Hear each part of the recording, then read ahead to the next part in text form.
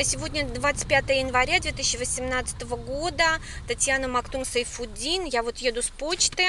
Получила, получила я два письма, два, так скажем, два, два документа, два документа, что и один, и второй, в общем, в иске, в иске Сергею Юрьевичу отказать. В общем, третье, еще третье судебное заседание, на которое, на которое вот мы ездили, вот этого документа еще как бы нету. В общем, жду, жду.